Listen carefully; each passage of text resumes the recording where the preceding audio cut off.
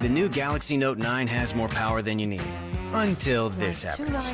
has been delayed. And you need a charge, and all the plugs are taken in. Oh, well there you go. The new Galaxy Note 9. It's got more power than you need, until you need it.